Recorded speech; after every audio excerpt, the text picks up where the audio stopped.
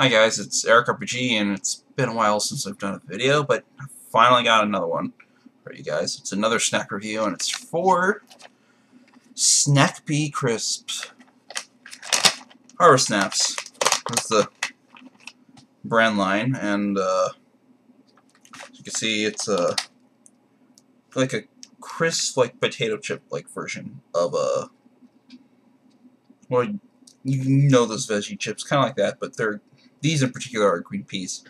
But uh, these are in particular Caesar. There's also uh, there's also light salt, lightly salted and uh, pepper version. Eh, they both for the most part they taste mostly the same, but you can obviously taste the pepper and salt and pepper and salt ones. And there's another one too. It's uh, lentils, uh, tomato, basil. But this is what it looks like.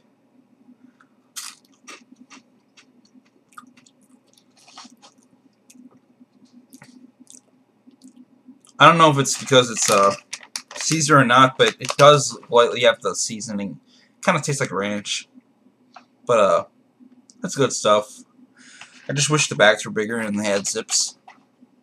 Ziploc bags, but maybe if you guys give me some feedback, I could find an alternative for these things.